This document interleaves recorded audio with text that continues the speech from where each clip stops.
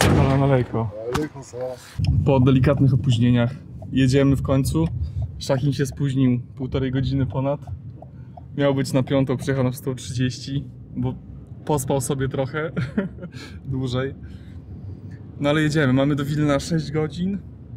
Myślę, że uda się szybciej trochę dojechać, bo tutaj wiem, że Szachin szybko jeździ. Tylko trzeba będzie uważać na fotoradary. Bo tam widziałem już na trasie, że z trzy będą. К- Камиль будет фоторадары платить. Nie, nie, ja nie będę, ja nie budę płacić. Ja zawsze płacę. Dobra, Szachin, właśnie. To już jak o mandatach rozmawiamy. Mandaty przyszły do ciebie. Так? No. Tylko drogie, bo 600 zł jeden. Ty się nie No, ciesz, bo to trzeba płacić. Новые мандаты два? Nowe dwa mandaty. Przeglądam sobie właśnie oferty, jakie są na Litwie, na autoplusie. i tutaj Szachin podpowiada, że pierwsze w ogóle, pierwsza rzecz, na jaką zwracać uwagę, to to, czy, czy samochód ma katalizator. Bo ludzie robią tak, że wycinają te katalizatory z tych samochodów, a wyobraźcie sobie, że on w Polsce jest warty 4-5 tysięcy złotych. Tu widzę fajną ofertę, dodana wczoraj. 3750, 2008 rok, 320 tysięcy najechane wygląda całkiem sympatycznie, chociaż te zdjęcia w lesie to wyglądają trochę jakby ten samochód miał tam już zostać.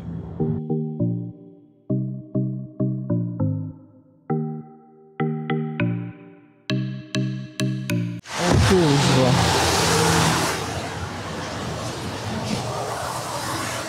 Pierwszy problem na trasie. Mamy kapcia, a nie mamy opony zapasowej. Już Afinów się. Ale myślisz, że to pomoże? no, myślisz to tak. Zanim wyjechaliśmy tutaj w to miejsce, to trochę się nadcięła w pewnym miejscu. No i myślę, że koniecznie musimy zajechać tutaj zaraz w Augustowie na jakąś naprawę. No gdzieś trzeba, nie wiem, albo wymienić oponę, bo raczej no do Wilna z taką oponą się nie ma co wybierać, bo jak tam nam stanie, to już w ogóle będzie kaplica.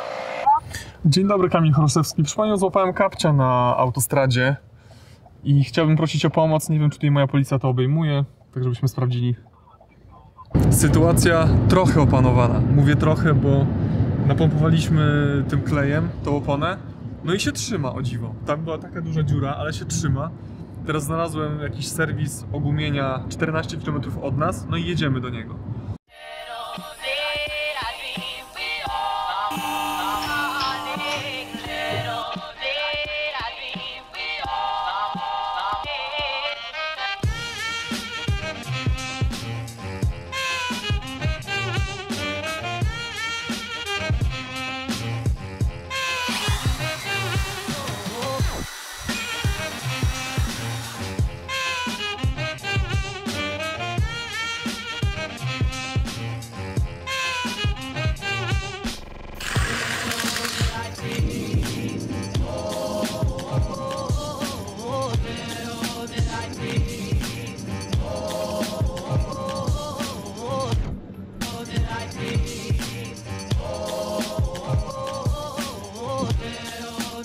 Jeszcze nie wyjechaliśmy nawet z Polski, mamy już, kurde, chyba 12.30, więc trochę nam ten e, wyjazd się przedłuża, ale jesteśmy na dobrej drodze. Pieniądze mamy wypłacone, właśnie Szachin rozmienia je w kantorze. Jest problem, powiem wam szczerze, z tymi Priusami, bo s- tak jak wczoraj oglądałem, patrzyłem na stronach, no to było dosyć sporo. Teraz jak dzwonimy do tych ludzi, to większość osób y, mówi, że po pierwsze nie ma katalizatora, i to jest podobno normalne. Po drugie, no kilka osób nie odbiera. Po trzecie, ktoś tak jak nawet odbiera, to mówi, że ktoś jedzie i tak w sumie nie wiemy sami co robić, czy jechać e, konkretnie na to Wilno i tam czegoś szukać, tylko jechać sobie właśnie na przykład do Kaunas, czy tam do Marianopola i pojechać sobie na jakieś place i tam pooglądać. Zobaczymy jeszcze. Jest taka nutka niepewności, że jednak człowiek tak, wziął sobie wolne w robocie, Mm, poświęca czas, jedzie i tak naprawdę nie wiadomo, czy coś się tam stamtąd przygna, czy nie. Czy pojedzie się i, i to będzie pusty przebieg? Dzięki Maju. 4000. 4000 euro. Co będziemy robić? Na imprezę. Do Gruzji. 4000 euro mamy na samochód. No myślę, że nie wrócimy dzisiaj z pustymi rękoma. No jedziemy tam z nastawieniem takim, żeby coś przygnać. A co tam wyjdzie na miejscu, to oglądajcie dalej, bo się przekonacie. No i właśnie mijamy granicę. На границе? Tak. А где пограничники? Jest pogranicznik. Idziemy pogranicznika. Только он стоит и все. Tak.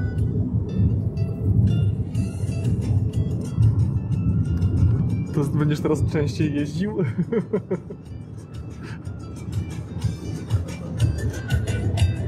Литву поехали по грузинской песне. Co? Литву по грузинской музыке. Tak. Polak, Turek, Litwa i gruzińska muzyka. И никто друг друга не разумеет.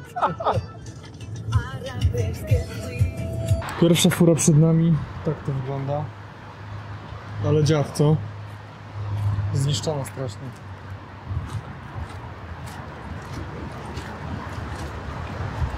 O, bardzo, bardzo.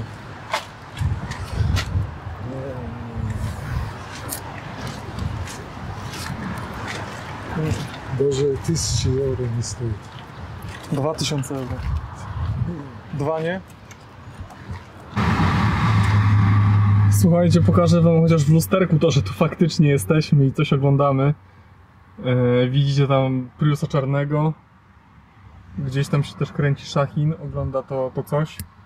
Nic ciekawego, więc nawet nie będę wychodził z kamerą tego nagrywać, bo myślę, że nie ma sensu. Tylko na to spojrzałem i to według mnie jest trup. Po ogłoszeniach ciężko jest coś dobrego znaleźć, bo naprawdę one na zdjęciach te samochody nie wyglądają źle. Chodzi tutaj mi o stan nawet z zewnątrz. Przyglądałem się tym zdjęciom bardzo tak wnikliwie, a są tak chytrze robio- robione, że na przykład auto stoi w lesie i padają różne kolory i to jest totalnie niewidoczne wtedy. No to takie myki tutaj stosują. Nie jest lekko, powiem wam. I w ogóle to mam wrażenie, że ci Litwińcy w ogóle wyjebane.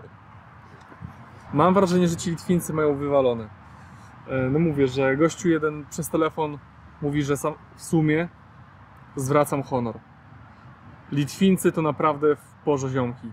Bo ten gość właśnie przez telefon powiedział nam, że samochód jest słaby, nie przyjeżdżajcie. To ten. A my stwierdziliśmy, że w sumie pewnie ma innego klienta i chce, żebyśmy nie zawracali mu dupy, dlatego tak powiedział. No i przyjechaliśmy. A gość miał rację samochód po prostu jest słaby. Jest dobra wiadomość taka, że znaleźliśmy fajny samochód, trochę uszkodzony, no ale facet zszedł nam z ceny, jedziemy właśnie po niego. Fakt, że trochę daleko, bo z Wilna są dwie godziny jazdy, a później stamtąd do Warszawy jeszcze 6 godzin jazdy. Stoi za moimi plecami ta perełka, po której jechaliśmy tyle kilometrów, ale myślę, że było warto. Auto jest z 16 roku z przebiegiem 100 tysięcy. 1.0 MPI 75 koni, więc jest ta idealna jednostka, która się nadaje pod wynajem na Ubera.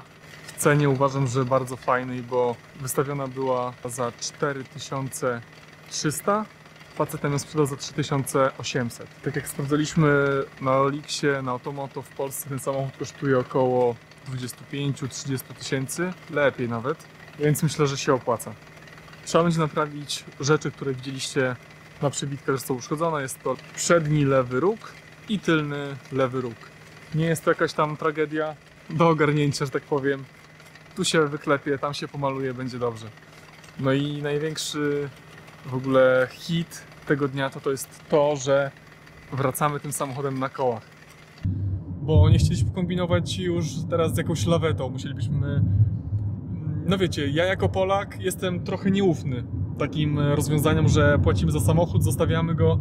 No nie wiadomo, czy ktoś tam ci czegoś nie wykręci. Kurde, różnie to bywa.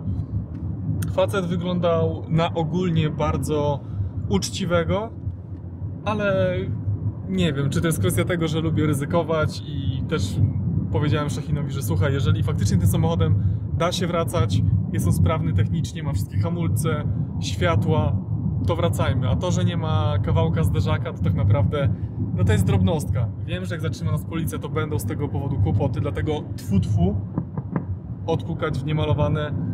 Mam nadzieję, że nic takiego się nie wydarzy. Zastanawiam się tylko, czy lepiej jest, że ja jadę z przodu, a Szachin jedzie za mną, bo jednak przód, z tego co widzę właśnie w lusterkach, przód wygląda spoko, bo go nie widać, ale jak ktoś jedzie za Szachinem, to ja mam zawsze taką, cały czas taką rozkminkę teraz, że kurde, to może być policja, a jednak z tyłu widać ten uszczerbek na tym zderzaku. Dajcie znać, co wy byście zrobili w takiej sytuacji, czy byście jechali z przodu, czy byście jechali z tyłu, a może w ogóle byście wezwali lawetę i nie ryzykowali tak jak my to robimy. O matko! Co to? Co to się stanęło? Jak jedzie? No? Я так полюбил эту машину. Tak? Так, вообще супер. Dobra maszyna? Добрая машина. 140. Nie wierzę po prostu. Szachin jedzie, słuchajcie, tą rozwaloną furą 130, 140.